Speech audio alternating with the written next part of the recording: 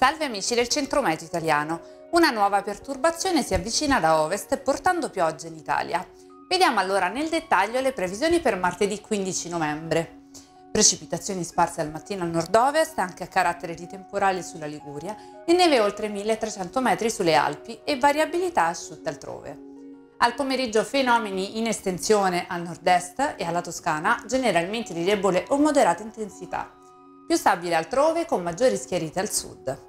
In serata annotata peggioramento che interessa buona parte del centro-nord con piogge, acquazzoni diffusi e neve sulle Alpi occidentali a quote medio-alte. Temperature minime e massime stabili o in lieve calo soprattutto sulle regioni del nord.